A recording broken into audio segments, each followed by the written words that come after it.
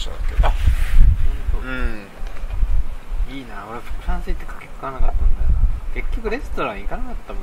あなんかパン屋いっぱい巡ってまあちょっと行ったけどあうんうん。なんかまあそんないいレストランじゃないからあれさお金ないと難しいよね。そうっすね。ちゃんと施設持ってってね。あそうっすね。え入れてくれたでもレストラン。入れてきましたよ。ネクタイ。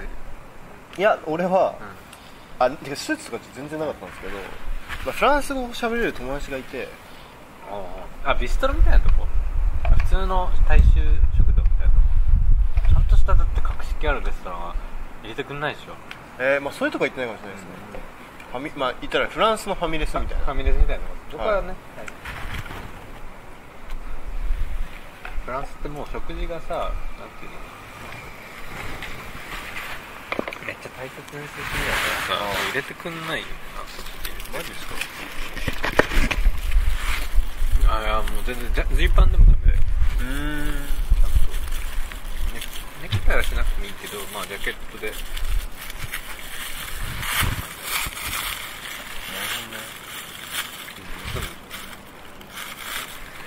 まあそうっすねあとあれ見ましたあのー、なんだっけ踊踊るやつ踊りのなんだっセクドソレイじゃないです。もっといいやつなんですか？ムーランルージュあへえ。ムーランルージュ高いっしょ。めっちゃ高かったですね。あーまあまあ大体そうです70ユーロぐらい。あ9000円だよで見ました。すごいなでもムーランルージュもうそういうの一切見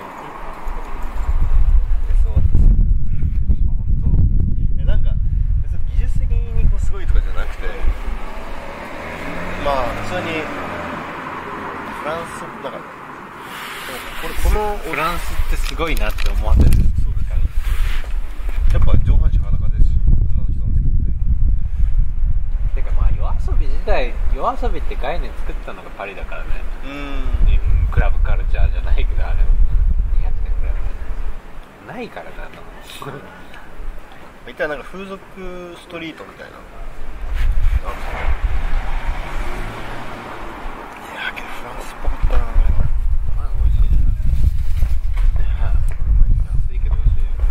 これなんか普通にいいね。これ。なんかね。シャルトね。あシャラシャやっぱチリの安いっすね。これ最高だな。路上飲み究極だなマジ究極だなえーやっぱ、まあ、俺もフランスであとブルゴーニうんうん。ュで、あワイン飲んだ？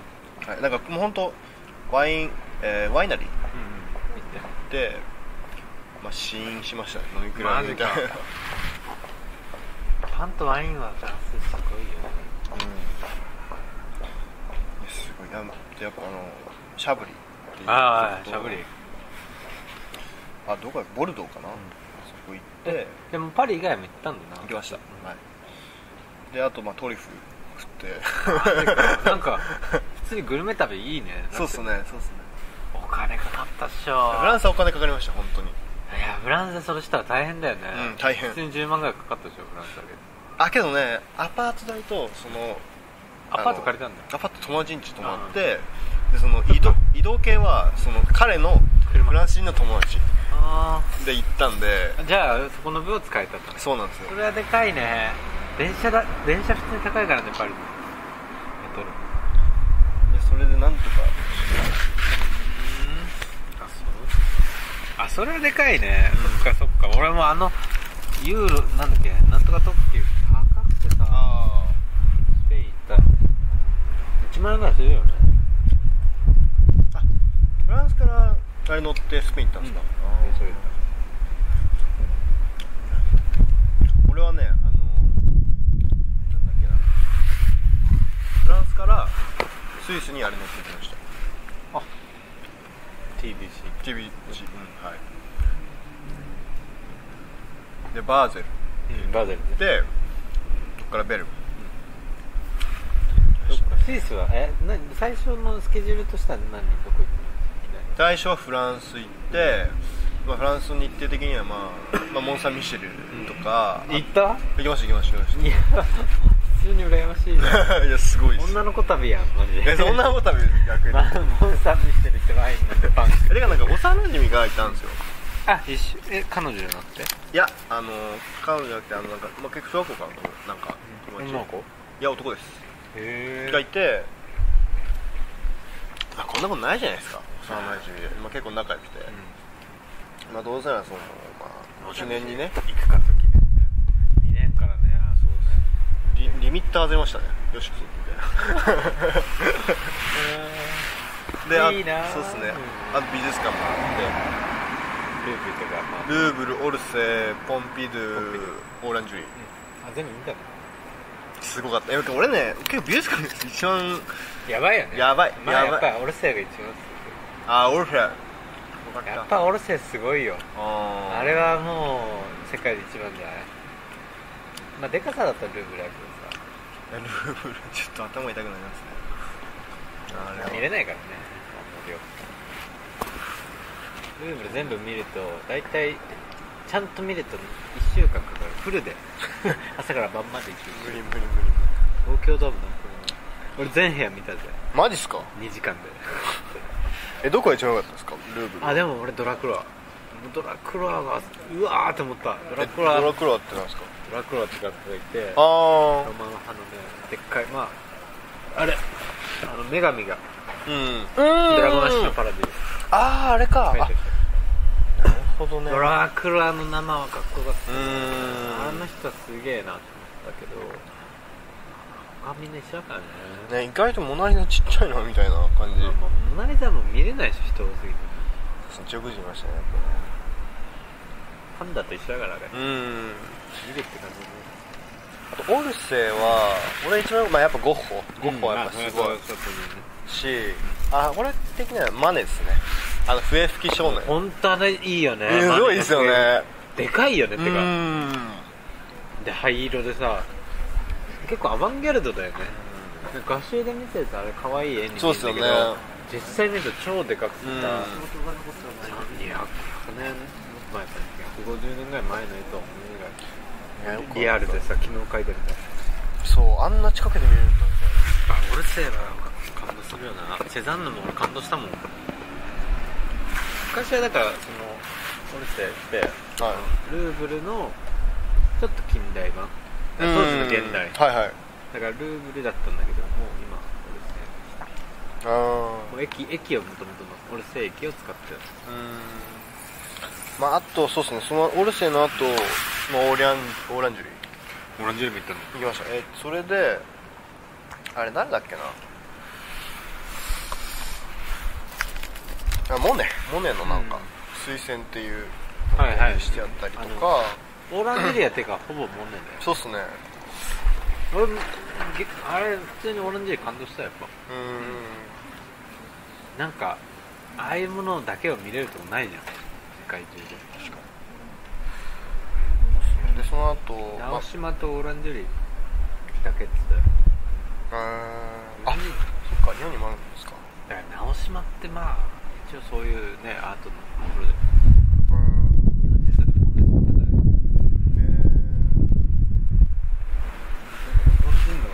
生命かしかも合ってるじゃんすまあ確かになんかですね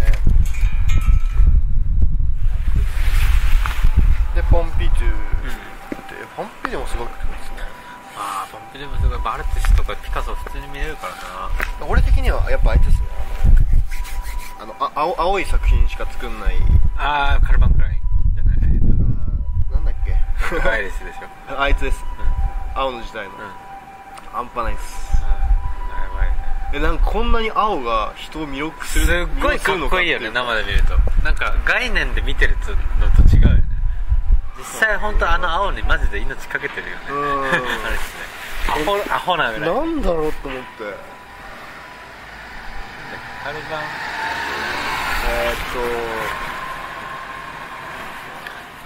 とイブロイブローレンえ？あそうだ。カルバンローレンだイブクラインか。イブクラインだイブクラインはすごかった。俺は一番ポンピリオスすあ本当げえなって思いました。イブクラインがへえ珍しいなすごいなクライン半端ないですまああとそうですね、まあ、ジャクソン・ポロックのやつもありましたしあとあれね小便。便器。あどうしたんですね。デュシャンのああへえこれなんだみたいな。これがね。みたいなできましたね桜がいいねちっちゃってますけど花見だねいやーそっかそっかフランスフランスじゃあ何日ぐらいいたのフランス1週間ぐらいですね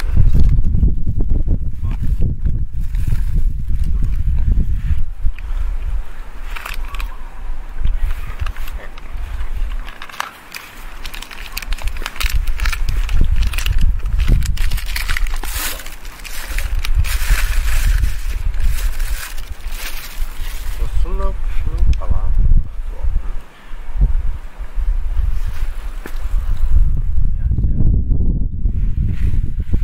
幸せやね酒って酒は幸せにするわいやうん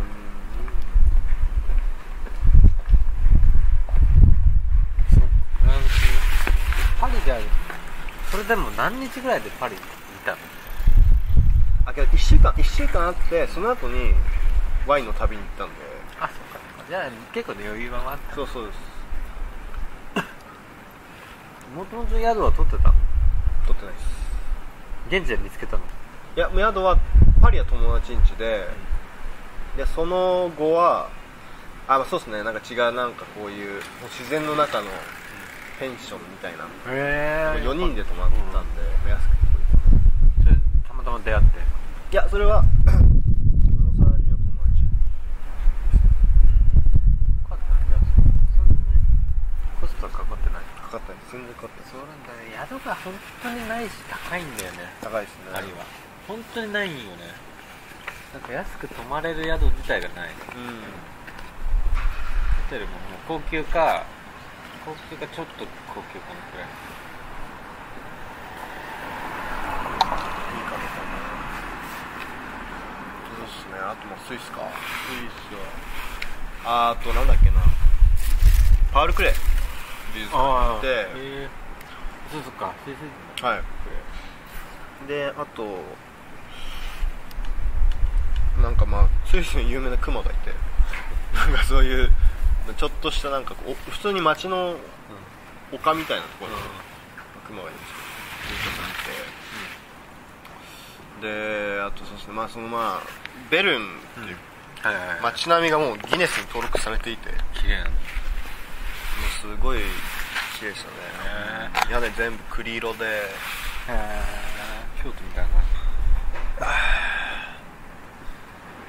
パパリじゃないな。まあバルセロナいやーけど説明できないですね。なんかた本当にあそこだけだったなんてとこ？あのベルンです。ベルン。スイスの。スイスベルン。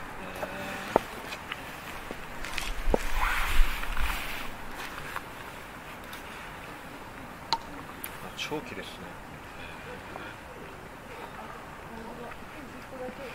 俺的にはパリより綺麗ですね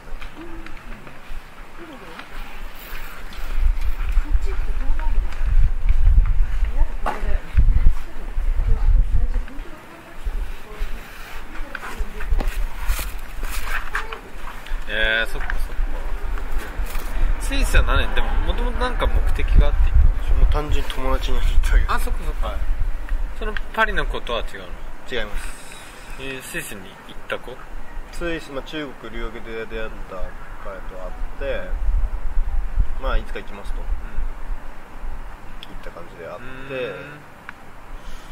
でそうですね。あと山登りましたね。マッターホルン。へえっていうやまあスイスいっぱい山があってそうだねそれをなんか列車で登れるんですよ。へー。それでバーって一日ずっと。写真は撮ってないの？写真はみんな発表会すればいいのに ねえ絶対聞きたい人いるよ。あマジっすか？絶対いるよ。海外行きたい人どんだけいるか。特にそういうリリアルな情報知りたいじゃん。あガイドブックじゃんまあ確かにね。スイス結構行ってる人いないか。スイスはだから留学とかになっちゃうからね。あまあ行ってる人はそれは多いけども。うん。なんかこうやっぱパリとかロンドンとかニューヨークに比べてはね少ないでしこれがフランょ母。スこれが母だそう母に送ったんですけどであとはまあこれがあれですね。モンサルトルの歌。はいはいはい。から見た行った行っこういう。たパリの。これこれ友達です。でうん。こういう感じで。その友達はね留学で行ったの？まあそうですね。バッグのデザインしてて。あデザイナーね？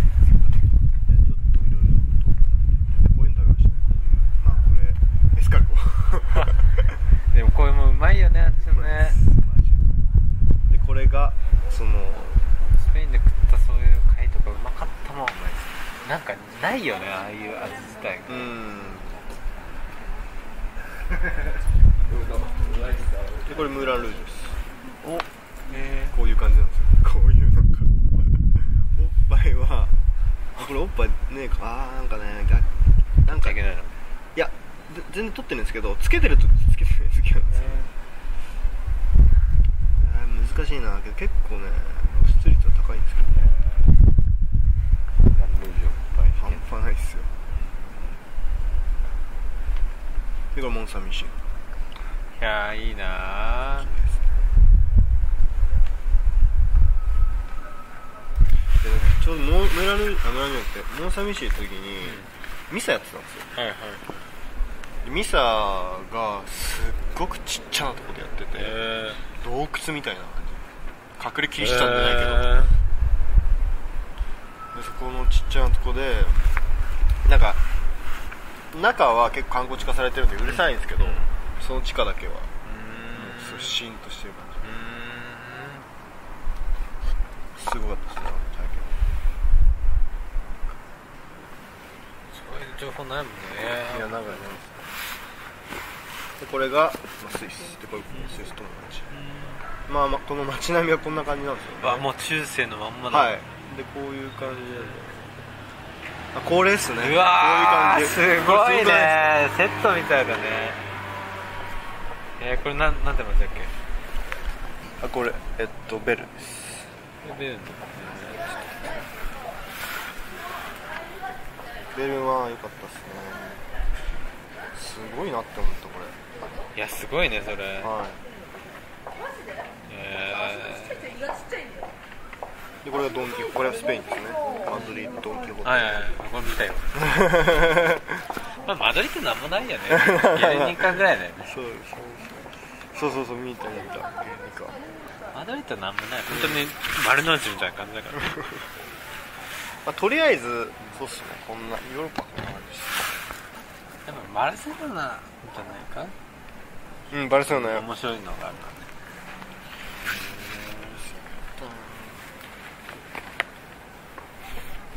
でもスペイン飯うまいっしょ。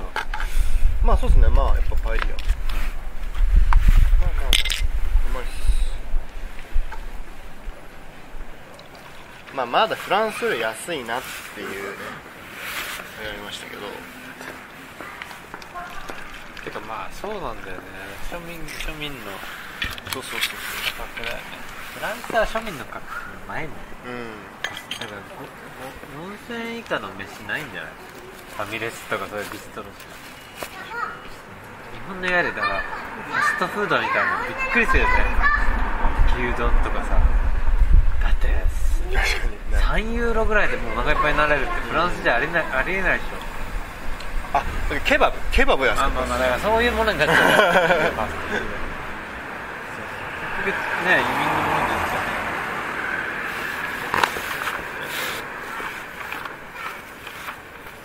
ケバブぐらいっすねねケバブパン。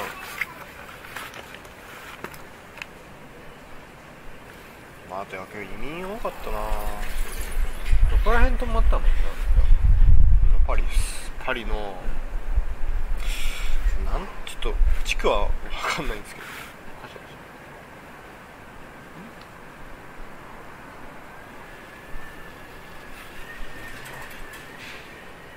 結構移民の多いとこ？移民いやいや移民多くないですね。移民多いところは結構郊外です。パリの俺郊外泊まった。マジですか？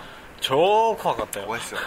俺夜道とか結構暗いじゃないですか？いやいやマジで怖かったよ。こんな怖いんだと思ってパリの郊外。絶対やめた方がいいよね。都心の方？都心の方です。いや絶対都心がいいよ。マジで金取られたもん俺。マジか？取られた。脅されて？うん。拳銃絶対持ってるなとか払った方が。いや払ってたんですか？じゃあややるよ。払った2000円ぐらい払ったまあだからそんくらい済んだからいいけど。えもうどんな状況なんですか？チェーン回してこういう感じで振ります深夜2時空港降ろされて地方の郊外の、うん。あのだからドゴール空港じゃなくて、はい。ああもう一つの。降ろされちゃって。でバスで、まあ、韓国人宿目指してたから行ったら分かんなくて。もうもう宿ってバレると襲撃されるからっつってその地域は。言ってない宿だっただから探してマジで言ったらリアルバイオハザード。マジでもうアルチューとかジャンキーみたいなさ。回して「えいハッボーン!」とか言ってんだよ。でももうもう怖いから車の陰隠れてさ通り過ぎて待って。うわマジ怖かった。もう死ぬなと思ったわ本当に強い覚悟したよ。今でも今でも忘れらんねえ怖すぎて。フランスが一番怖いって。いやパリ怖いよ。もうパリ郊外。あのサンドニとかだからテロ犯が隠れてたあたり本ああ当に人が多いと思う超怖いまあパリ自体そんな別に、まあ、パンがうまかったとかさコーヒーがうまかったはあるけど別にそんないいと思わなかったからああなるほどね。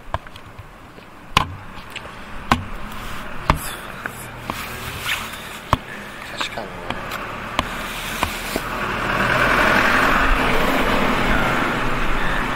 まあ古いものは大事にしてますよね。かなり。まあパリとロンドンそうだね。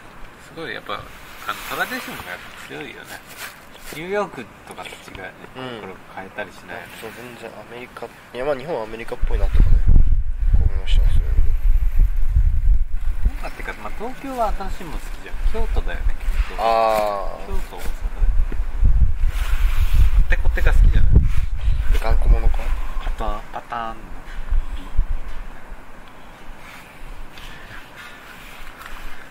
やいいねいいね今日もそうねまた頼っちゃってほんスイスもねいっぱい書いてますね。めっちゃ書いてる。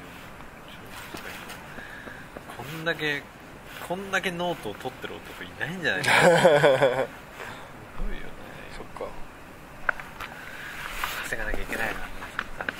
そういう感じですけどうちもね結構ハウススタジオを利用するってことあるらしいですよ、それだって広告してる。使ってよ。使って。てか使ってよ。AD の立場になったら使ってよマジガンガン使ってよ。もう。ええなんかその結構ど使ってます？その CM の。うん。ああそれでかし。探してるでしどうなんですかね？わ俺全然うんわかんないですけどああそうっすね。あまあ全然ペーペーなんで。ょまあまあ入ったばっかりだからね。1年目2年目ぐらいからじゃないか探しうん今来てるよ。ピアピアウェブ系の子今ウェブが多いね。あそうなんですか。うん。ハウススタジオって、まあ、1時間いくらでしたっけ？1万円。スチールなるほどムーねビーが2万。うん。安いよ。多分。あそうなんですか。相当安いよ。1万都内でありえないって。え普通どんぐらいなんですか料金？ハウススタジオだとまあ六本木とか青山だと大体1時間2万からぐらいスチール、まあ、場所がねいいとこなるほどねで白無垢だとまあ456千円もあるけど、うん。あのいわゆるハウススタジオではない。普通のスタジオで白白のバッグでさなんなら安い。たまにあるけど。まあハウスではないと。ただ普通に白スタジオだからさどこでもいいじゃんマンションだしさ。別に借りる必要ないと思うんだよねあの白スタジオなんて。ここういうとこでいいからさ外でもいいから。ただで済むんだよハウススタジオはやっぱ家の雰囲気とかあるじゃない。金ねホテル借りるのと一緒だだからホテルラブホ借りるとかえなんかあの AV とかってどこで撮ってんですか？基本ハウススタジオじゃあない？でも AV 用のスタジオがあるんだよ。プラネアールとかね。へえあのうちまあまあ AV がいろんな人ですよね。うちは禁止してるね。へえなんすよね AV 使うのって。だってやっぱり仕事が関係ないじゃんもうあの例の場所って言われちゃうからさ。やっぱり。だからだってだ。ってやっぱあのプールとかさもうそうでしょ。いわゆる例あのプールものってさ同じ場所ばっかりなんだよ AV 一緒のとこばっかりのとこあるわけさ。サービスだってそれはもう AV 用ってなっちゃうからさなっちゃうじゃん。普通の雑誌で使えないでしょアイドル。さすがそう工場系とかだとあるけどね。全然アダルトにも貸すし普通にもあるけど。ハウススタジオで貸しちゃうとねまあでも一回バレるとさそのイメージがついちゃうからね。あそう。なんですアダルトばっかりになっちゃうから。へえ面白い。外人多いな。しよっか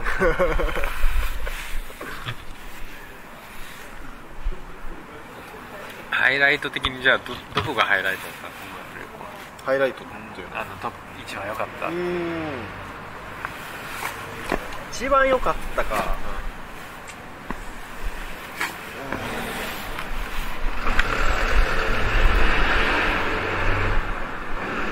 難しそうなんですよね。そうだよね。まあまあ分かんないけど、なんかそれそれはある意味幸せなんですけど、うん、全部良かったってことでしょ。まあ、全部よかなんかこのすごくなんだろうなこう今記憶に残る体験をしたっていう経験が多かったんで、なんか良かった悪かったって感じじゃないんですよね。まあそういう意味で旅行者的にいいなっていいもいいしたのはやっぱフランスだし。まあそういう感じだね。お金お金かけて。ね。いやフランス普通にお金かければ楽しいよ。う貧乏旅行はつまんないから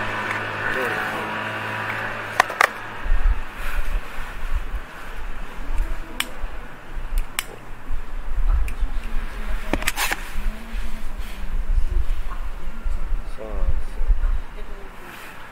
まあそういう意味ではフランスかもしれないですね。フランスはやっぱ貧乏旅行で言ったらなんかパンパンがうめえしかない。そうそう金払ったら面白いんですけど。だってやっぱり本当にこう上流対決がはっきりしてるもんねじゃあねやっぱ。ロンドンってやっぱ金なくても楽しい。よあそうなんですか。クラブ行けばさ安くて食えるしで飯は別に自していりゃいいし金ない人もそれなりに楽しめるカルチャーがあるけどフランスはもうない。てかなんかイギリスって俺のイメージだと結構職人が多いって感じなんですけど紳士と職人。まあ洋服はねやっぱりロンドンが一番だから。で靴とかだって結構イギリスあるじゃないですか。こういうこととかね。そうっすよね。いやだから洋服好きな人ロンドン行くよね。あーやっぱりか。ロンドンも行きたいんだっていうか好きそうだよ今日のファッション何ですか？パリよりロンドンだと思うパリはやっぱオートクチュールだからけどねパリの人はそう靴きれいにしますね。しっかりとした靴履いて。あとダサいっしょ。普通の人が。まあまあまあ。まパリはやっぱダサいよ。ロンドンマジかっけえもの。ピンクのジャケットとか着んだぜ黒人があ何ですか？緑とかさあんなの俺ルパン三世だけの話か 普通に電車の中で着てるからおしゃれと思って。おしゃれだよロンドン。ピンクのコートとかさおばあ黒人のおばあちゃんが着こなしてかっけえと思って。ガチでかっけえよあれ。黒人がかっこいいやっぱロンドンは。あそうなんだまあパリは黒人が怖えっていうね。怖いよね。ちょっとパリはやっぱ怖いよねパリは移民もさ なんか排他されてるから普通に怖いよね、うん。ストレスあるからね。まああとそのアンティークバティネーション飲みの市ねプイニアンクールって言われて、ねあのあれじゃん。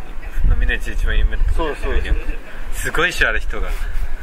てかねちょっとそこも危ない地域ですよやっぱ移民てか飲みの市ってもともと泥棒市だから泥棒が売るための位置だから危 ない地域でやってた結構面白かった。なんかお店の中に店主が電話ボックスに入って こんな感じで本読んでて何それみたいなあでも古本屋面白かったなやっぱり、えー、あれはなんかやっぱすげえカルチャーってなってる。やっぱすごいっすよね昔の。までできてるじゃないですかパリ好きなあるからねありますよね聖書とかまあ本の文化かもしれないねけどまあまあガラクタといえばガラクタなんですけどねあれはねどうだろう本はやっぱすげえよやっぱあの製本技術とかうんいやけど日本のこれすげえいいなと思いましたけどね本限ればまあ日本の印刷技術世界ではこんな方がいいと思いましたねこんなやつばっかりじゃないですかその海外ペーパーバッグねペーパーバッグだからペーパーバッグっていうの本当にあの文庫本的なもの作り出したんだよやっぱあそうなんですか僕もサイズだって安く売れた大量に売るっていうのはあああんま見なかったなけど昔のペーパーバッグとかもロンドンみたいなあのロンドンはすごい古本文化でまあレコードも古あ中古文化だけどもうゆあの本がすごいさ昔のなんかこう漫画のえ大量に買ってきたな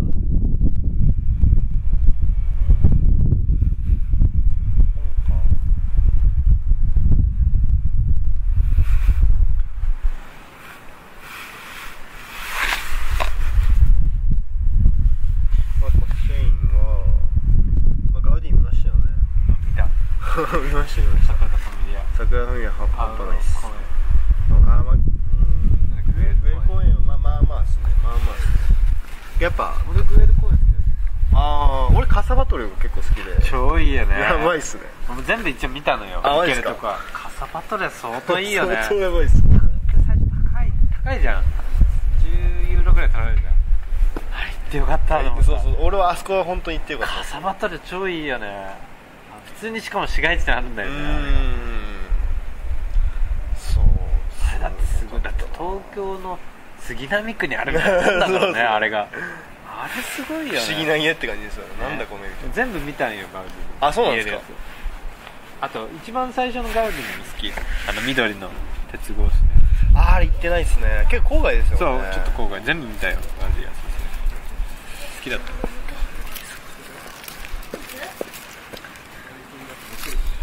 ほんとね。すごくガウディ、まあ、生き物みたいですよね、建築がで結構そういうガウディって結構大胆な感じだと思ったんですけど、結構細部もいやいやすごくしっかりしてるな。めっちゃ計算できる人だから。うん。アーティいわゆるアーティストタイプじゃないよ。うん。そういうイメージで捉えられてる。あの人はすごい細部と計算できる人だで軽減なクリスチャンであだから普通にこう気違いタイプじゃない。よあなるほど。ああいう風に見られちゃうけど。あシュバルは？あシュバルいけなかった。いけなかったっすねまあ、あれむず無理だよね。ちょっとね。あれは3日かかるからね。無理でした。シュバル YouTube とかで見えるからね。行かなくても。いいね。ここ自体いいねここがいいね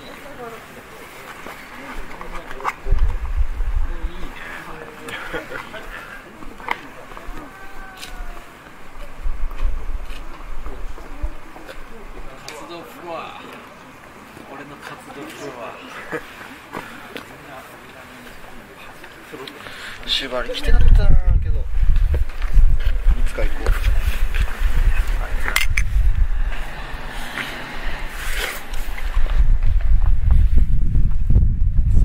最強対話男対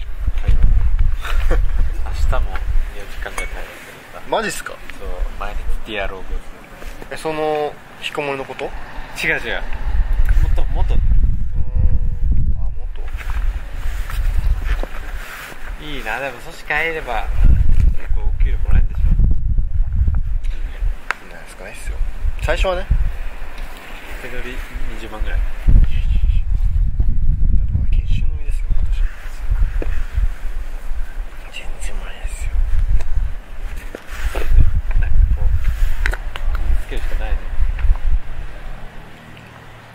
いやなんかでも作りたいね。なんかね。本作ろうよなんかうーん環境系好きなんだよ環境系か。えー。環境って結構理系ですからね。けどまあ、まあ、環境系で言えば面白かったのは、まあ、やっぱメキシコは環境汚染ありますよ。ん？メキシコ。環境汚染俺的には。あ結構ありました。あまだ空気そ昔よりききれいでしょ。本当ですか、だってもう10 20年前は世界一番汚かったあスモック今は綺麗になった車多いからね。あそう車が多かったですね。え待ってスペインえー、っと、えーフランススイススペイン来て、はい。そっから飛行機で？であれですよね。メキシコ。でシティ？シティですねシティのみ。のみです。タテオティワカン行っ行きましたたない。かよかった。ピラミッドって感いやなかなかやっぱいいよね。じうん。ピラミッドすごいよ。すごかった。なあそこにサングラス忘れてたんでね。あ今でもちょっあと今100均で買ってたやつそこにいきなりサングラス忘れてったからさ悔しいなと思って。日差しがねメキシコでもどうあの人類学博物館とか行っ行きました行きました行きました。たいいよね。うーん。メキシコ何日ぐらいいたの？いやあの結構メキシコが経由地になってて合計すると1週間ぐらいいたかもしれないです。あ本当？はい。そんないる人じゃなかったんですけど。結構じゃあ何？1ヶ月以上いたの？1ヶ月半。いいなでいくらぐらいかかったトータル。トータルは、全部入れて。えー、全部ですか、旅行費あの50万ぐらいじゃないですかね。ああかかるね。はい。飛行機が何しろ多かったんで。まあそうだね。50万かいいなうん。まあ、けまあ、結構ね。マイナスもありますけど。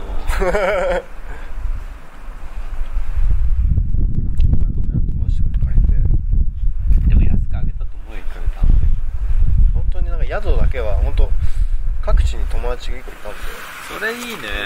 それでなんとか抑えてつもりなんですけどね。フランスはちょっと予定外でしたけど。マジでそうだね。メキシコそうっすね。メキシコ中なんか俺的には中国っぽいっていう印象でした。ティーはうんうんうん。そうだよ。車多くて満員列車で。まあまあこうだよ。東京とやっぱやっぱり田舎ないよメキシコの良さ。シティは普通だよもうやっぱあの自然の方行くとさやばいよ。うん海超綺麗だしあやっぱ普通だよあ都市ですよ。本当に大都市だからね。だって。本当に都市。だけ住んでるからさ。あー行きたいなそう言ってると。行きたい行きたい行きたい であとあコスタリカか。ああコスタリカどうだった？コスタリカはねまあオンリーワンですよね。まあ言ったら本当に秋田県ぐらいしかないんですよ大きさが。でプラス盆地。周り山で遮断されてるんですよねスパン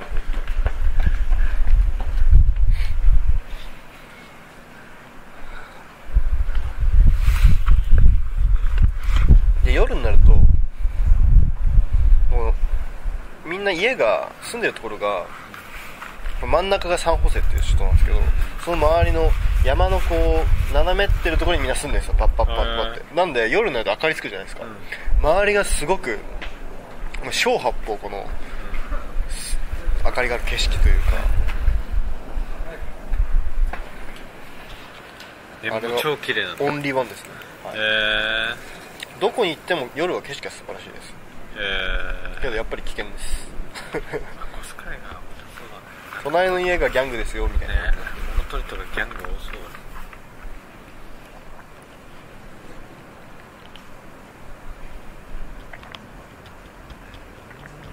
であと普通にまあ日本ってカラスがいるじゃないですか、その代わりに、まあ、ラパっていうオウムのカラフルなオウムが普通に飛んでるんですよ。ラッパ。ラパえ街を街を普通に。信じらんないみたいなまあすごく生物の多様性があるから。へえあそれ面白いねすんごい面白いですよへもう何でもある。本当に。へー。コスタリカなんか自然だったらなんでもあります。火山もあるし森もなんかいろいろできるしビーチもあるしそれで本当エコツーリズム的には最高ですよねあそこ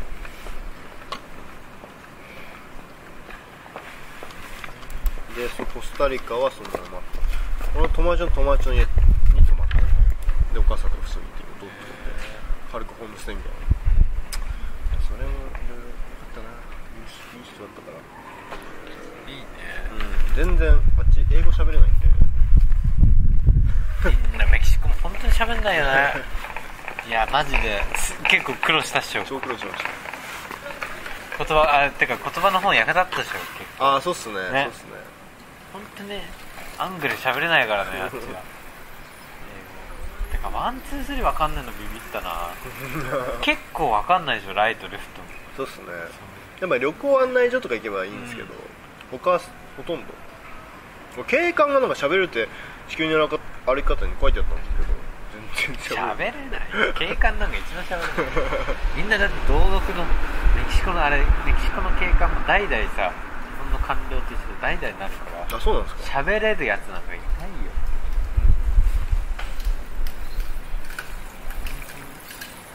英語喋れるのはむしろドイツとかだよね。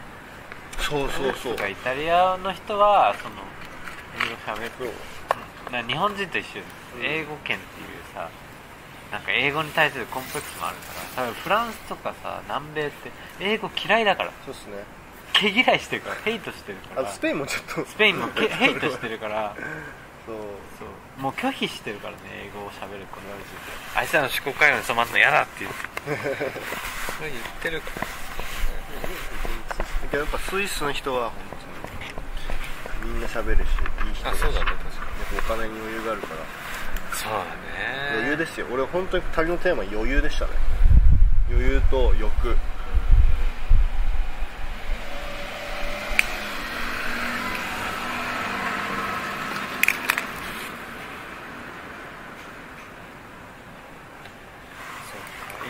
いね糧をじゃあ結構得たね。そうっすね。なんか俺すごく落ち着いてるんですよね今。気持ちがね。多分それは多分余裕が重要だなって気づくかもしれない。いい言葉や。あだからけどねお金もね。必要だしこの外でこう旅の旅行成果を聞くしかも小笹寿司の前のフロントで聞くっていいね。目の前土のうステーションイン瀬戸谷区なんすかこれ。これ土をここに入れるんだよ。へ不要になった土あここいいね。でまあまあコスタリカ行ってまあいろいろよくしてもらってでまあキューバに行くんですよね、まあ空港、まあ、やべキューバ来たみたいな。なんかそのキューバ何メキシコから？メキシコからですね。シティから。シティからです。どっか出てんだ今。出てます。俺の時カンクンからしかなくて。ああそうなんですか今シティからも出てるよね。だってだって本当にあのアメリカ行って変わったと思うよ。ああ相当かまされてるでしょキューバ行き。キューバ行きってだってあの犯罪に近い感じだったからね いわゆる。密輸的な。なね。だってさマジでそうで俺の時まだ5年ぐらい前は行く人もなんか格安ツアーがあってはい。すごい安く1万円ぐらいで行けんだけどその代わり袋渡されるんだって袋袋？バッなんか紙袋？は すヘロいマジっすか？イ ンやばいよ、ツアーそれ。だから日本人で日本人だとパスポートであれあれに捕まんないから。やば。その代わり超安く行けるえま本当あったんですか？5年前。みたいないや結構みんなそれで行ってたよ。マジっすか？絶対え捕まんないんですか？捕まるっしょマジで。やだよ。普通に犬とかいますよね麻薬犬みたいな。のいると思う。ただただだからそのカンクンからのはカンクンって結構みんな観光客で来るからでだ騙されちゃうとさそれやって捕まったらもう人生棒に振れる。やばい。まあそうですね。着いた時は本当に感動しましたようわキューバじゃんみたいな、うんうん。でそうですね。でまあ着いて、まあ、最初に気づいたのがキャッシュがあカードが使えないっていうこまあまあそうと俺知らなくて。やっべみたいな。おキャッシュ持ってこなかったの？いやあ一応、あのユーロ。あユーロ？60ユーロぐらい持って。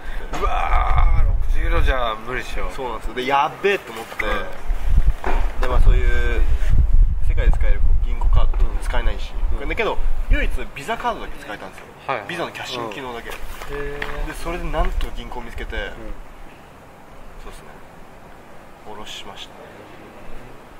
マジで危なかった。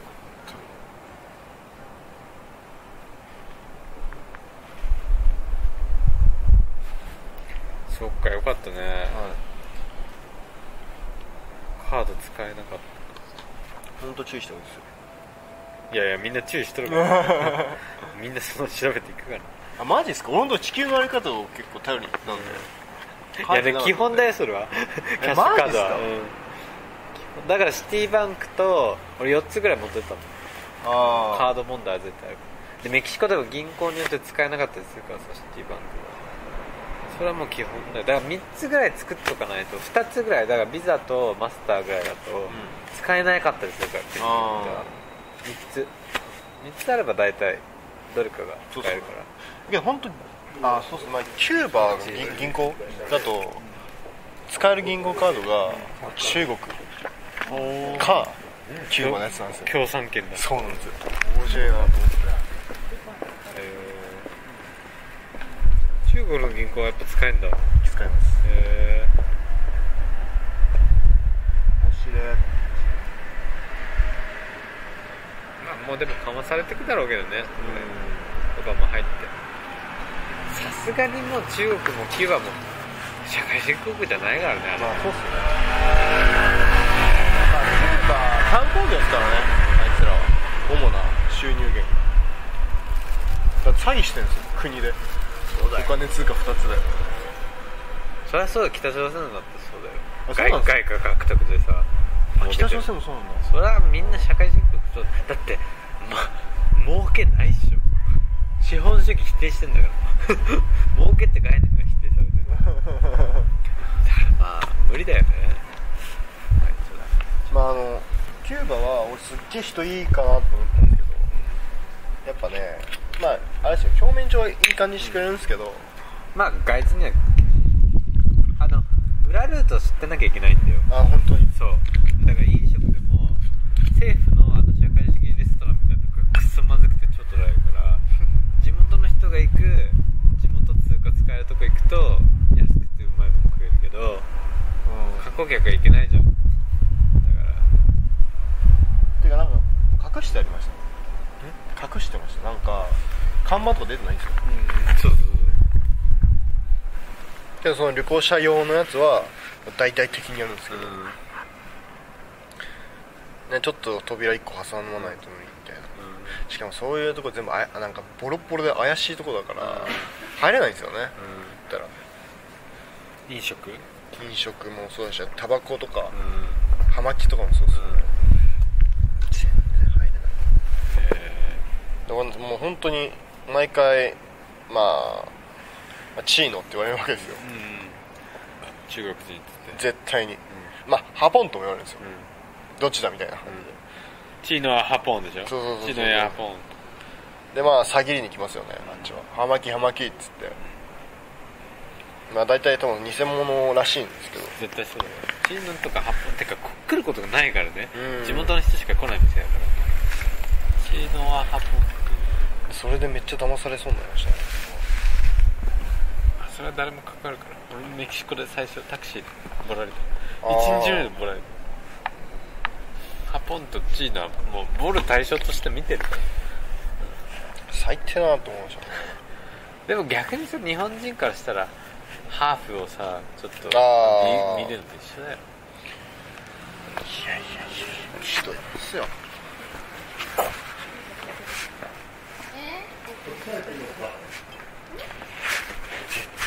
なんか俺はそこでなんか結構そうっすねこいつら余裕ねえんだなって思いましたけどね。9マイルでも俺ずっとそうだからねう、ん、余裕がないっていうか余裕がないわけじゃなくてもうそういうテクニックがあるからさい生きるサバイバルテクニック。いやー。で一回スイス見ちゃったんで、スイスは良かった。スイス最高ですよ。何が？あ人が？人がもうまあシンプルですけど、まあ、老人にも電車譲るし、やっぱこう手取ったりとかね。へえ。あすごく穏やかですよね。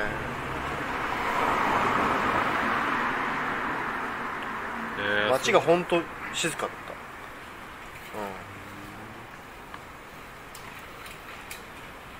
けどまあ、まあ、日本みたいにたまに病んでる人はいますね、それで。まあ、精神医学の一番はスイスだからねユングもスイスなんだし、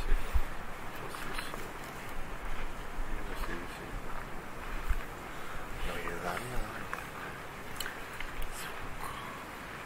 それに比キューバなんか景色は最高なんですよ、もうあなんて言うんだろう。まあ俺はなんかあの本持ってったのが、あのあの鑑識熱帯？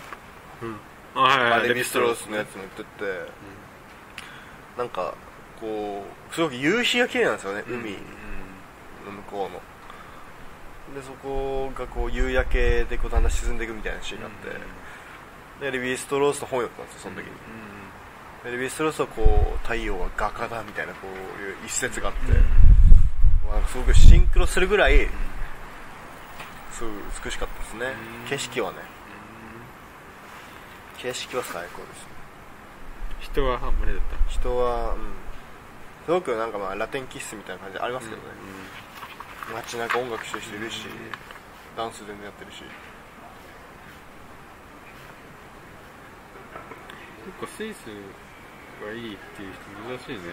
スイスイススイスは大体保守的だからさあんまりっていう人が多いんだけどあやっぱ保守的では日本人に行くと配達されるしねあ本当っすか？田舎はね。多分バーゼルでしょ？うん。バーゼルは都会だから大丈夫だけど。田舎行ったらもう大変よ。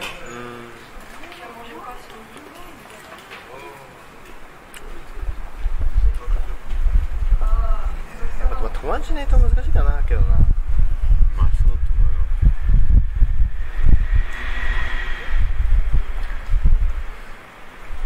まあね、まあ、すごく中国人がねいるからね。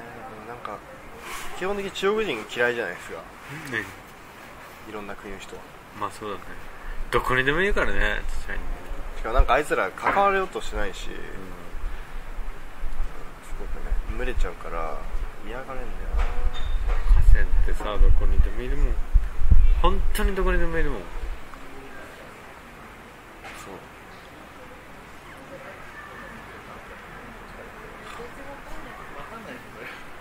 コップもらっていいコップですか？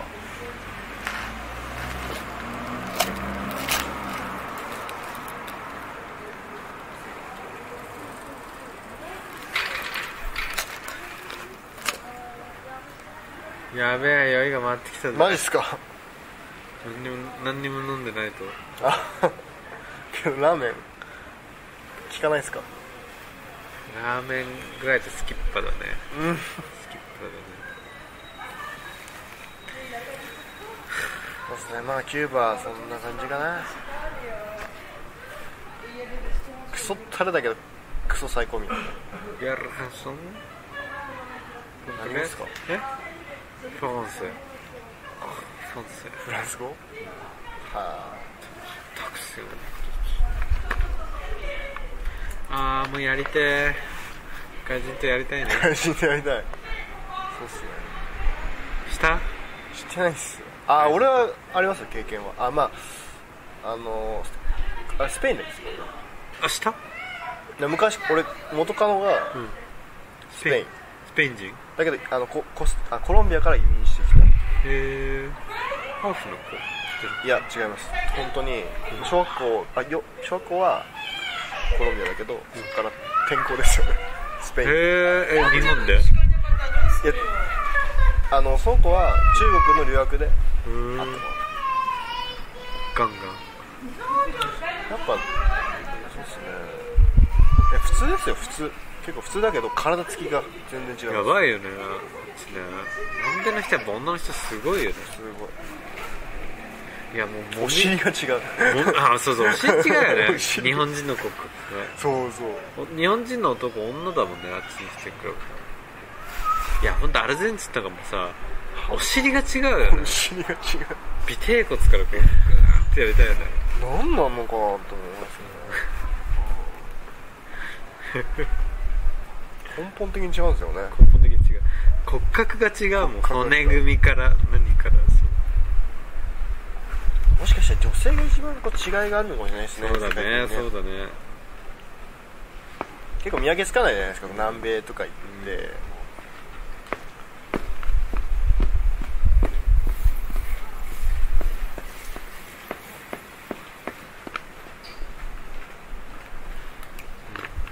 んいやそうだねいいね。ちょっとエロしたいなエロ。エロス東京だとエロスがないよね。ないっすね。ね。あのエロの感じないよね。うん。なんかみんな変態な感じだよね。してるくせにさあ言わないじゃん。そうそうだからあっちはオープンじゃないある意味そううん。なんだろうね。やっぱ下ネタは共通語って言いますけどやっぱそうですよね。絶対そうでしょ。てか南米なんて本当にみんなエロいもんねほんとね おばさんとかがエロいじゃんブラジャーしないですよねあんまり。まあねだけどまああんまりこう開放的だよね。うん。おっぱいとかポンと出す。しヌードビーチ行った？だって。いけないっす。あ本当？メキシコヌードビーチ行ったけどさ。だからあっちでヌードビーチ行くと別にむしろつけてんの恥ずかしいからね。マジで。みんな外してるからさ。どんな感じでした？普通にだからスポンポンだよ。別に。でけでビーチの感だから全然エロスエロじゃなくなるよ。ヌードビーチ行くと。普通になんかみんながスポンポンだとエロくないわな。やっぱいダメなタブーだからはエロス恥ずかしいっていう感情でエロを感じるわけで。あいいな行きたいな俺も。えそれカン君ですか？カン君だったかな、うん、世界旅行一一周してる人とか結構どこの国でもビートあるじゃんヌードビーチって、うん。行ってたよスイスはとかは多分保守的だからちょっとないだろうけど。えスイス？スイスはないとないかないかないかないと思う。保守的だからあの大抵リベラルの国はあるよ。金持ちがいるとことかある。あで金持ちがいるところのビーチはもう入れないようになってて。あへえこう金持ちじゃないと。メキシコ結構あったな。いやキュやっぱカリブのビーチ最高。やばいよね。やば綺麗だもんね。砂も海も。超絶綺麗だよね。やばいですね、なんか海が3色なんですよね。そう3色。まあこの最初の手前はうん透明に近いブルーで限りなくで真ん中が青で一番向こうがこうやっぱり深い青。って感じでしたよね。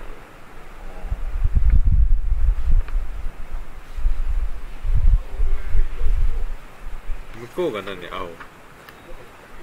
一番向こう側ですか、深い青ですね。ええ面でもい本当に見たら分かると思いますよ感覚は。白い確かにね。うわーって変わるよね。なんか色が本当に綺麗だよね別に透明じゃないんですよ。透明じゃないんですけど。どこの海キューブです。えー、俺カンクンの海はもう完全透明だああそうなんですか。あがまあ世界で一番綺麗な海あーなるほどね。カンクンの海はもうもう本当に綺麗。沖縄の海と一緒。うん。超綺麗。多分キューブはねそう。まあまあ綺麗ですよ。綺麗ですけど。また違うかもしれないですね、海の質みたいなところがそうね違うんだろでビーチが良かったな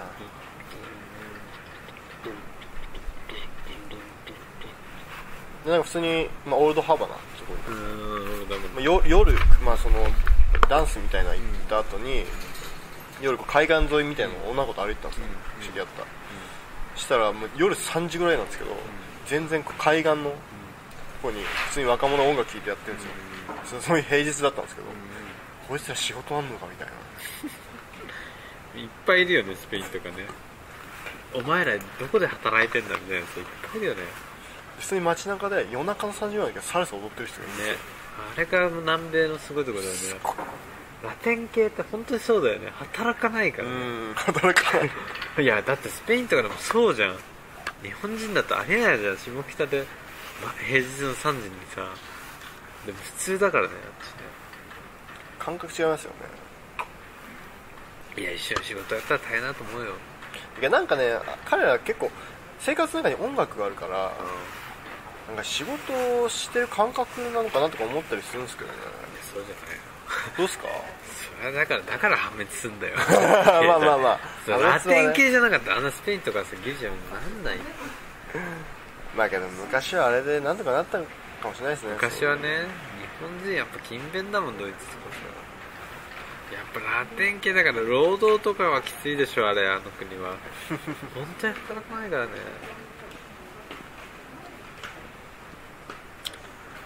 ばいしょんべんしたくなってきたこれしたらやばいね多少じゃないですか？私は 幼稚園ですよここえ？あ幼稚園の？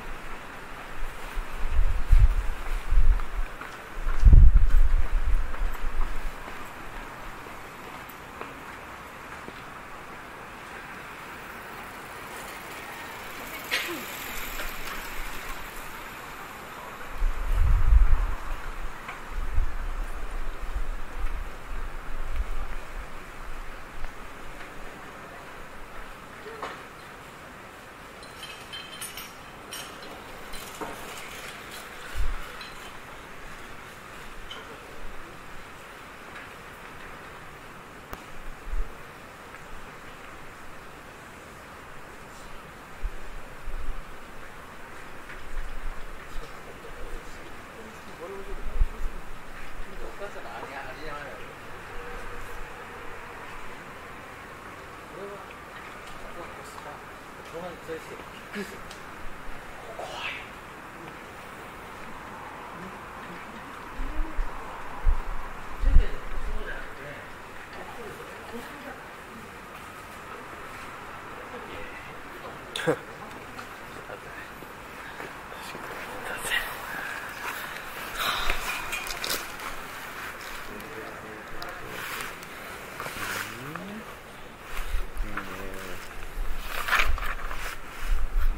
っきとまた全然違う話だった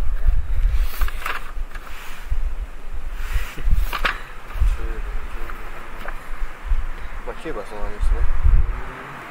あとねキューバカミーロ。カミーロっていう革命家がいるんですよ。カミーロ。うんうん。カミーロ。やっぱねゲバラよりある意味人気かもしれない。彼の方が。うん。詩人でもあるよね。あそうなんですか？そうそうそうはい。まあゲバラも世界的にね知名度だけで。うん。実質は別にゲリゲリラ戦ですごかっただけで。ああでなんかその俺キューバ人となんかたまたま会って、うん。中国語喋るやつで、ああこいつ話そうみたいなのがあって、でもゲバラって聞いたんですよ、どうどう思ってんのみたいな。やっぱキューバ人そんななんかめっちゃ好きってわけじゃなくて、うん。実際は。けど、まあ、彼がそのキューバのその教育面うは絶対あの人がなかったら、ん。こんな国になってないみたいな。そのんカミーロがいなかっあたカメラだけどゲバラゲバラがいなかった医療の面であったりとか、うんそうだね。うん。芸術の面であったりとか。でなんかその彼ボリビア行ったじゃないですか、最後ね。でその時にそのボリビア人は助けなかったじゃないですか、うんうん。ガイバラを。けど今ボリビアはゲバラをすごく必要としてるみたいなことを言っていて、なんであの時助けなかったって後悔しているみたいな言ってたんですよね。あはい。なんかいろいろ。もともと医医学生だからね。うん。俺はボボリビアのこと全然知らないんですけど、うん。あそうなんだみたいな。面白いね。うん。それ厳しい人だったらしいですね。ゲーバラは。うんてか普通にやっぱアカデミックだからさあんな顔がかっこいいからイケメンだからだけどどっちかというと厳しい人だよ、うん。うんボヘミアンじゃないよあれ。ゲバラ。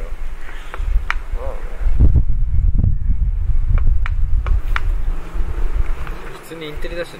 てか坊っちゃんだしねゲバラって。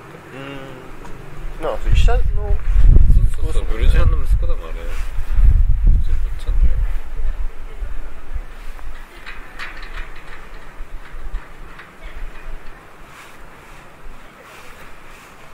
いだけ書いてんだ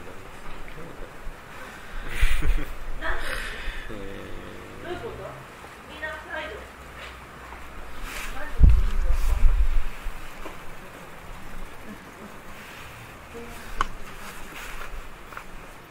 キューバ終わってケイマン諸島っていうとこを経由して、ーうんケイマン諸島。へはい。これもまたすごいですけど、まあ、海も綺麗だし、まあ、イギリスの色っちゃったんだねもともとでまあクソ高いみたいな。でオーストラリア人と会って友達だったで彼がもう旅に28年出てると。あ30年以上かな。バックパッカーずっとやってんだ。いやバックパッカーじゃなくてそれが職業なんですよ。写真フォトグラファーで。ああフォトグラファーなのへえあいいね。いい人だっまあデータをそういう雑誌とか。たね雑誌とか出版社に売ってすっげえ生き方だなって思いましたけどね。だって30年以上っすよ。うんもう半端ねえなって思いましたみんな写真家ってそういうもんじゃんでも。あそうなんですか、うん。だって自分の国に本当帰ってないみたいなね。まあね。やっぱなんか俺英語で喋ってたんですけど、まあ、あんまそう聞き取れない時もあるんですけどやっぱなんか重みみたいのを感じましたねすごく、うん、一言一言が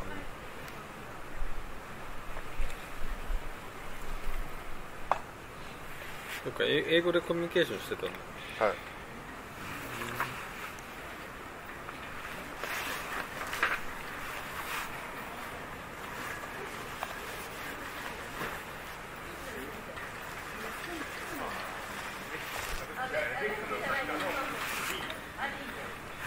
マジ日本語恋しくなりました本当に。いや恋しくなるでしょ。てか日本食も恋しくなるでしょ。ありますし。1ヶ月半じゃ結構飽きるよねだって南米行くと本当に分かるでしょ俺の言ってたこと。マジでないじゃん。クソマジいいと思いました.本当に。タコスしかないからな。うまいですけどね。うまいんですけど。うまいけど飽きるよね。同じ味だからトウモロコシの感じがもう嫌になりましたね、本当に飽きるよねあのコーンの皮で。本当に飽きるよね、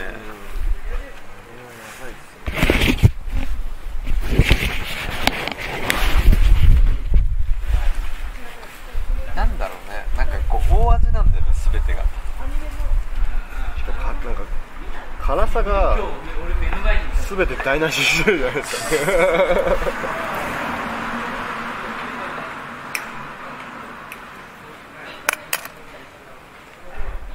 あとあとメキシコのコーラ知ってます？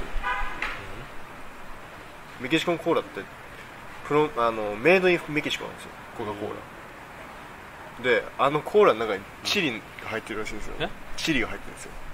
へえスパイスの。へえめっちゃ舌辛くなるっていうか。へえあ俺そう飲んだ。それメキシコ人教えてくれたんですけど。そういうスパイスなコーラでしょ？普通にコカ・コーラ飲んだ普通けどに普通にコカ・コーラなんですよ。それがもう普通にだってメキシコってさなんか飲み物、まあ、コーラとかさあとなんかこうセルベッシオとか普通にあるけどさなんかこうどこの食べ物屋も飲み飲み物は結構持ち込み自由じゃん。ああ確かに。持ってて。うん。なんか飲み物なんかコンビニで何ペソかで買って。でもまあお金はかかんないよね。かかんない、ねメキシコ一番かかんなかったっすね。安いよね物価も。だって1ヶ月10万もいらないんじゃないかな。ね5万まあ6万7万7万ぐらいだよね。だって普通にタコスとかって15ペソぐらいそうそうそう。あもうもうちょっと。もっと安い。もうちょっとだけどでも1食70円とか。ねえ俺めっちゃ食いま食ってました。た取れた作ったなんですかそれ？トルタスタコスのバーガー版。タコスばっかりか。タコスあスープみたいな。あソパソパソパねソパね。超あー美味しかったな。ソパうまいね。染み当たるよね。ソパとあとあの白魚。はいはいはい。のあのわかります？うんわかるわかる。そのまま食うや揚げて食うやつそうそう。超そうあそれトルタスあそれ取れたんですか？あれ超美味しいっすよ。超うまいよね。あれ半端ないですよね。あれ日本にあったらいいなと思ってんだけどないの。ああれでメキシコで下北沢にメキシコ料理あるから行こう。そこだけなの出してくれるの。へえあそこにあるから向こう。に今度行こ最高。あそこだけ都内で。ていうか日本で。日本で？あそこはだからすごいよメキシコの飲み物も出してくれるしメキシコ行って行き来してるからねいや超美味しいっすよねそう下北のなんだっけ？えっとドロボーイズの。そうそうそう。そこだけなんですよあとまあメキシコのステーキみたいな。食った。あれね食いましたね。あとチョコレートのやつ食ったあもう俺。え食ってないです食ってないくっそまずいよ チョコレートかけんだよ。ですマジですか？ご飯。に俺あれ本当に。あれはないなと思っあとなんかこうチーズまでグラタンみたいなこう緑色のなんか変なやつも食って。美味しかったですねたですよお前あれご飯で使ったなシャーシ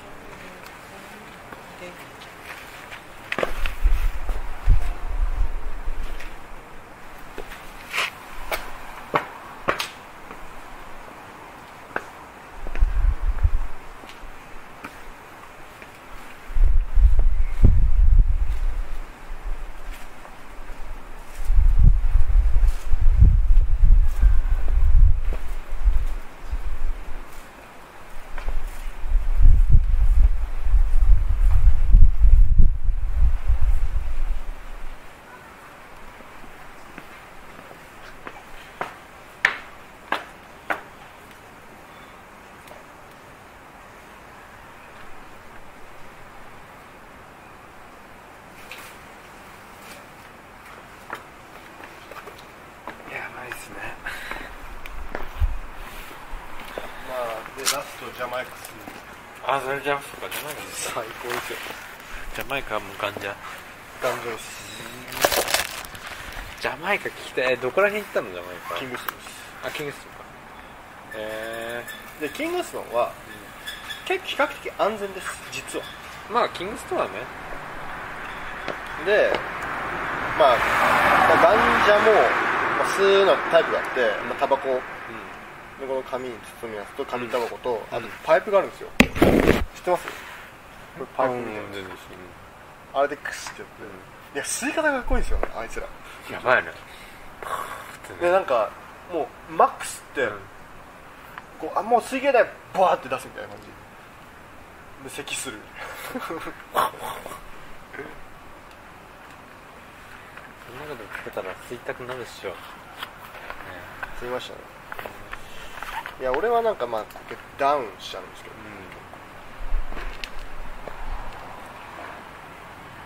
うん、でなんか頭重くなってやっぱ考えないと苦しいんですよ。すごく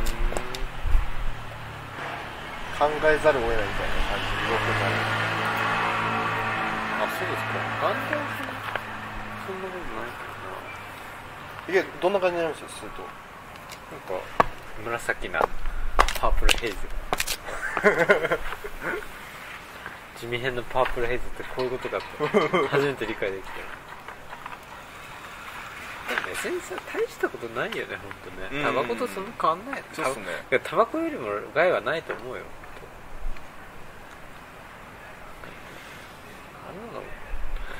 ヘロインとか LSD とかさああいうのはやっぱりダメだよ。ダメだよあれはと俺は思うけどね。ですね。結構まあなんか。もともとハシシなんて入ってたもんだからね。でなんか俺コスタリカでもマリファナ吸ってたんですけどやっぱねこうやっぱジャマイカの方が全然いいっすよ。あそれは上質。本当に。聞き方が違いました。なんか。そうだろうね。うん、なんか基本的にはジャジャマイカはちょっと変化があるんですよね体の中で。の、うん。うん。とな最初足、最初こうなんか手とかかなってこうこう神経が研ぎ澄まされてくるんですけど、だんだんこう体中に広がっていくみたいな感じ。で最初に頭にきて超重くなってきて、うん。まあ、寝れないですよね。絶対寝れなくてで終盤らへんパーッと気持ちよくなって寝ちゃうみたいな。うん。じゃあそんなでもまあいいいい聞き方じゃん。うん、いやリラックスできるいやあんまするとちょっと危険かなってまあまあなんだってそうだよ。でまあ、まあ、あとダンスクラブ行きましたね。深夜に。レゲエ聞いてきた？へ行きました。やばいっす。え普通にあのこういう盛り上がる系のうん。ダンスフロア、ダンスホールね。ダンスホール。うダンスホールやっぱりそのね盛り上がる系でこうお尻とかすっげえ振ってるんですけど。ん。いやなんかやっぱこの MC みたいな人いるじゃないですか、うん。うん盛り上がるうん。盛り上げる系の、まあ、あいつらかっこいいっすよね。やっぱやっぱすごく全然聞き取れないですよ、うん。英語じゃなくてパトワなんでパトワだからね。You are so n o m a l パラララみたいな。すごいなまってる感じで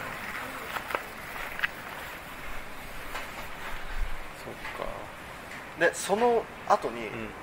ダブクラブっていうとこ行ったんですけど、はいはいはい。それがルーツ系のレゲエなんですよ。へえ。でこれ俺マリファナスって言ったんですけど、すごかった。あそうそう。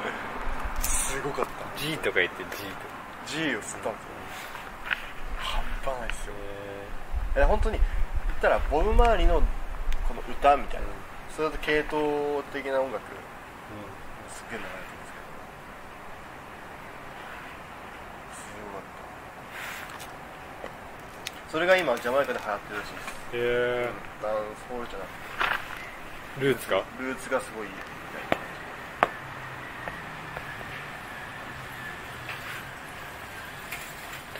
ルーツロックレゲエ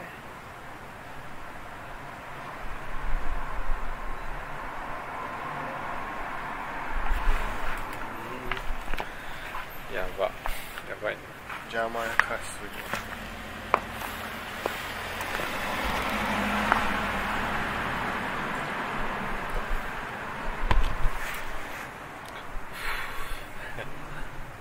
帰れるかな？チャリだチャリ。チャーリーか。やばいね。あーなんかもうやりたいね。ピンサメってください。え？ピンサメってください。いやいやそっちじゃなくて。そっちじゃない。自由なことでやりたいね。ああなんかね日本やっぱせせこましくなるよね。世田谷で乱行クラブ。乱行クラブいいっすね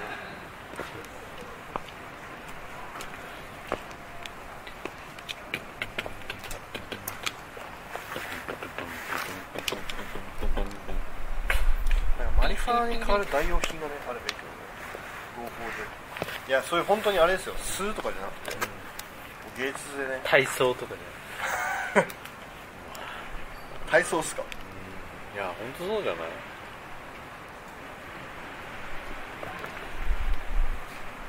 まあ、あれやったら間違いなく入りますよ。でも日本は解禁されないだろうな。ヤクザの資金源になっちゃってるからマリなんかねそういう薬物とか危険ドラッグ以外でね。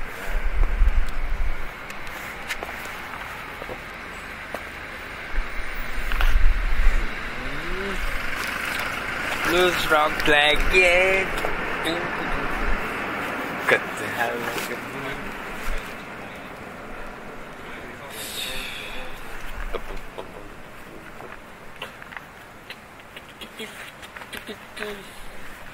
まあそんな感じ？ジャマイカから成田帰ってきそっから、えーっとまあ一回アメリカを経由してアメリカ経由して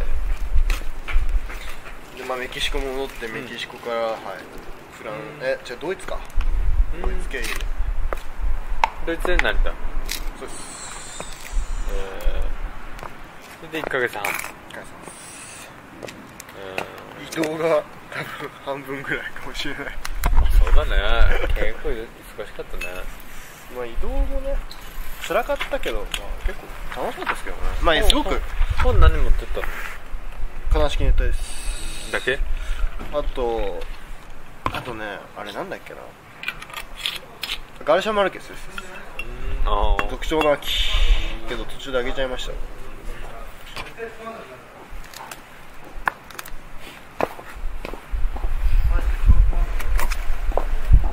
あと Kindle 持ってきましたね。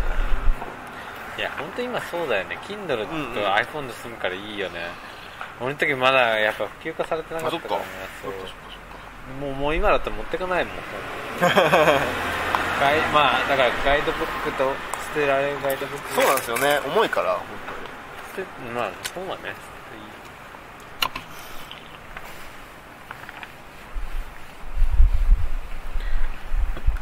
まあけどレビー・ストラウスのやつ持ってってよかったなと思います本当に。うん。南米行ったんで。やっぱその雰囲気は伝わってきましたね。寒い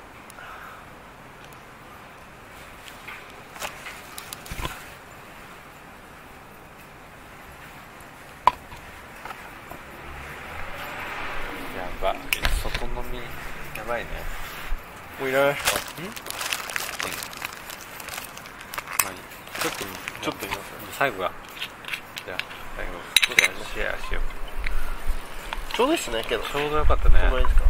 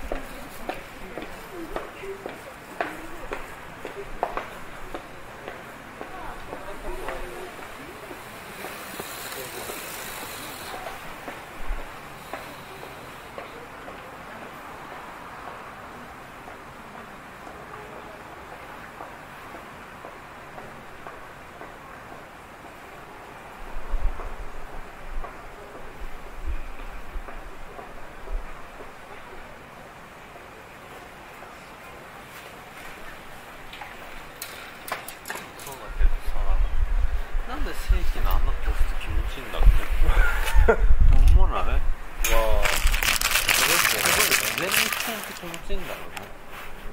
だってここ通してたら超気持ちいいよねだから人間ってここここに帰らか上がんないここと脳みそがつながってる。そうっす。ね。いや本当それだけだよ。出すって気持ちいいですよね何でも。いやいやいやチンコから出すっていうのが気持ちいい。いやもうマジで。尿道を通すって行為がここに快快楽物質があるの。おしっこもそうでしょ。気持ちいいでしょ気持ちいいっすそれだけなんだよね。そう仕組んであるだけで。仕組んでますね。簡単なパターンだよね人間って。すごくシンプあなんかベビースター食いてえな。ルベビースター安上がりっすね。超安上がりだ。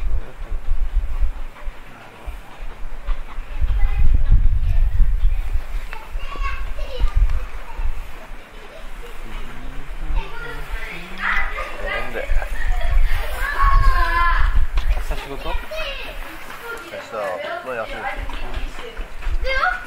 まあちょっといろいろね整理して、なんかやっぱねまあ全然俺6時上がりですけど仕事終わった後部屋か俺汚くなっちゃいますねこれ。超疲れる。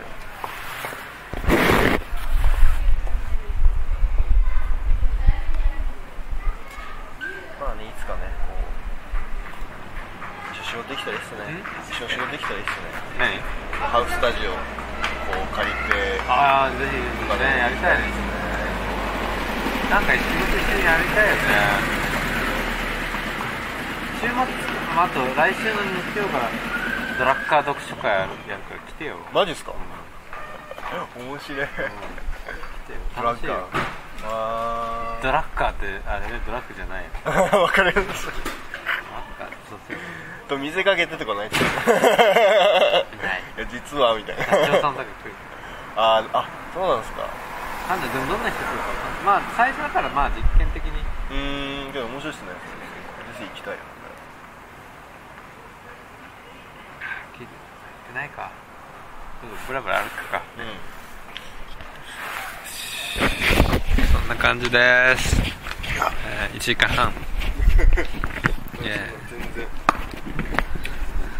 な感じですよ。